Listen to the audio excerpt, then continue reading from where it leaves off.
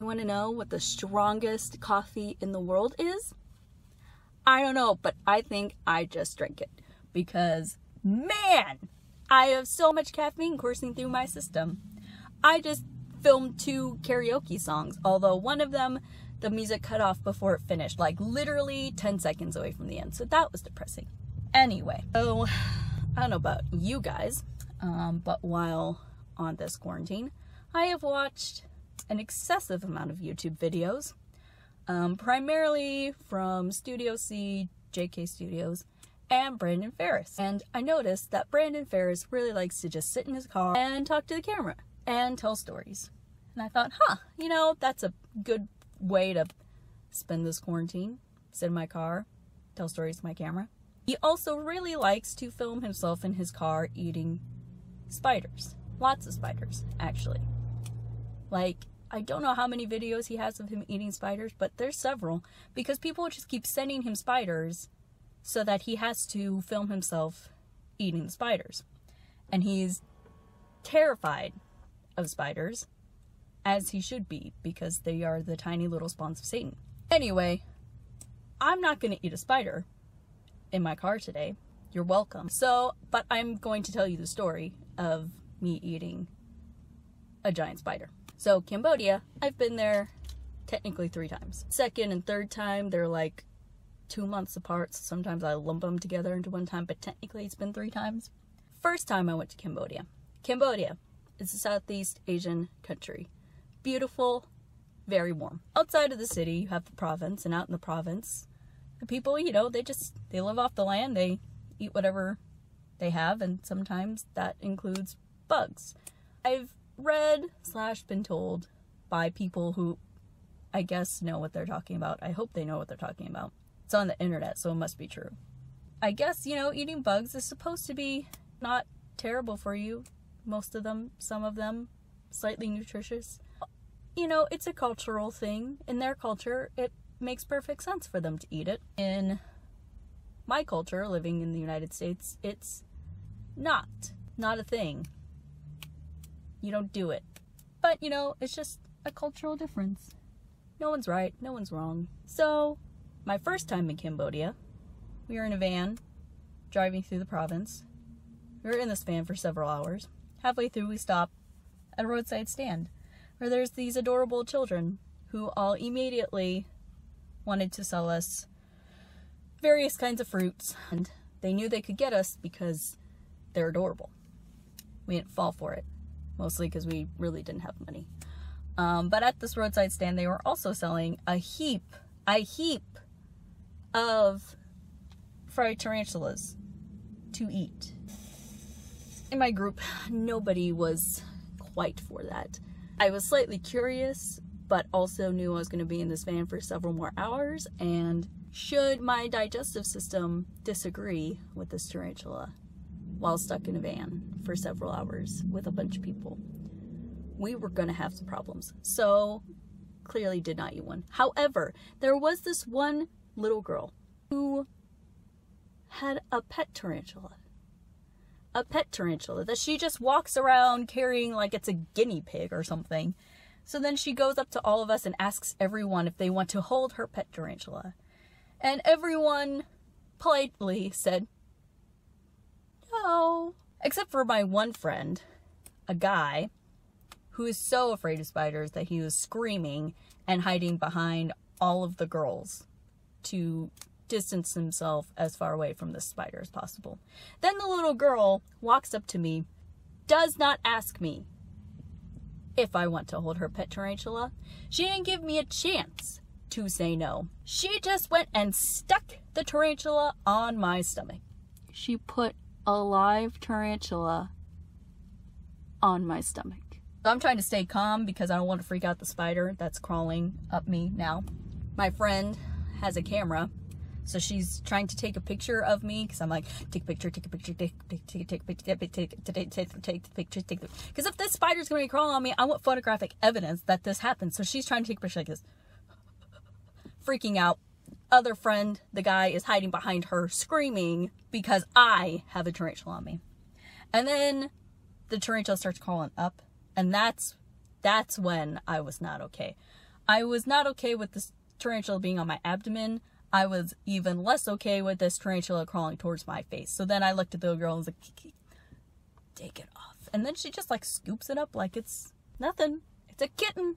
Fun fact if you want to get to know someone, a new person, make friends with them, don't put a tarantula on them. Karen, okay? Don't do it. They will not want to be your friend if you just stick a tarantula on them. Anyway, that was the backstory that took me for 6 minutes 42 seconds to tell. So, next time I go to Cambodia, technically it was the third time, but whatever. I decided I was gonna eat a tarantula. No one in their right minds thinks, oh, I had this traumatic experience with the tarantula last time I was in this country, so I'm gonna go and just make it worse. No one does that, except me. You know, some people are very competitive and they try to outdo each other. I'm competitive and try to outdo myself. So I already had the tarantula crawling on me, so now I needed to one up myself and eat one. I like to think as if it is me showing the tarantula who's boss by eating it. Actually, one of my, my friends went with me and did it too. I'm not really sure why, but she did. I was really glad because then I didn't have to go do it myself by myself. But we had to go find a specific restaurant in the city that had them. So we had to brave the elements to go find this restaurant that served tarantulas. Literally, I mean, it was raining pretty hard, which there was just this huge drought in the country, so it was actually good that it was raining really hard. But so we went to the specific restaurant that had tarantulas and we ordered the tarantulas. And then also because why not? If you're gonna go big, go all the way, man. So we ordered tarantulas, crickets, and buffalo meat. So they bring us our delicacies. And there's three three tarantulas like this big. Hairy, fried, definitely did, but still terrifying. And you know, we got this little like sauce dish where you can, you put like pepper and salt and you squeeze in the lemon juice, mix it all together. This, it's pretty good. So I went first, videoed the whole thing, of course. I mean, if I was to do it, I had to video it. I went first and had to like, I had to have my friend give me pep, pep talk. I had to pep talk myself and then as I shakingly held this tarantula on a fork, I gave a war cry, went ah, and then shoved it in my mouth and started going.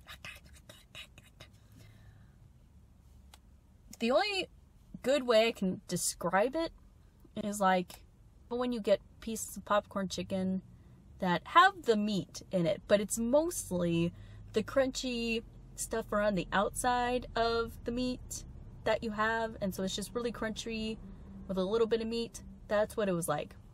It really didn't taste bad. It's just that it was super chewy and took forever to chew. Forever. Name that movie. But, you know, it really wasn't that bad. But definitely I just wanted to eat one. I was done after that.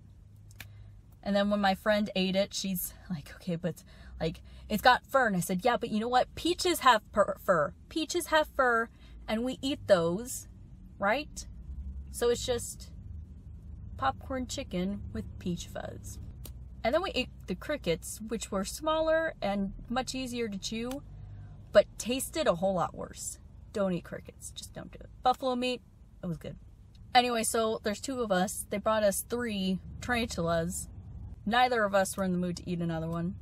But we also didn't want to just get rid of the third tarantula. So we took it with us in a to-go box. It was dinner time. The rest of our friends were already at a different restaurant to get dinner. We really didn't eat enough to consider it dinner. So we went, ordered something too, had our to-go box, and they said, uh, did you bring a tarantula with you to go? My friend is sly. She said, Yeah, because we wanted to eat more tarantula later. Very sarcastically. So everyone assumed that she was just being sarcastic. But really, we did bring the third tarantula but we were saving it to prank people at breakfast the next day at the hotel. So I was sharing a room with our team leader, whom I did not tell what was in this to go box because I didn't want her to know that there was a tarantula in our hotel refrigerator overnight. It was dead. It's not like it was going to crawl out or anything. But still. So then the next morning at breakfast, I bring the to go box down, eat my breakfast, wait for my teammates to come down. One teammate sits by himself, has his phone sitting on the table. Another teammate is across from me, video chatting with his dad. Friend leaves his phone on the table, goes to get second or third or fourth, I don't know. Kid eats a lot of food. And I very quickly got the tarantula out of the to go box, rushed over, put it on his phone, and went back to my table and just waited. And he came back, didn't sit down, just stood there staring, holding this plate of food, saying, I don't like that. I don't like that one bit. Get that off my phone. And I was like, It's dead. It ain't gonna hurt you. And he said, I don't care if it's plastic. Get it off my phone. Well, then my other friend who's video chatting his dad is trying to explain to his dad what is happening in the background, why I have a tarantula. Then his dad says, Oh, I want to see the tarantula. So then I'm showing the tarantula to him, showing the tarantula now to all of my team because they're all down there like, What are you doing? So I'm like, Oh, yeah, little guy, just walk around carrying it. And then I turn around and this poor other inhabitant of the hotel who does not know me or anyone on this team is sitting there trying to eat his breakfast and is very perplexed because I'm walking around with a tarantula in my hand. So I turn around, he's got food on his fork but can't bring it to his mouth and is just like staring at me, bewildered. So then I turn around and I said, It's dead. It's definitely, definitely dead. Don't worry. He's like,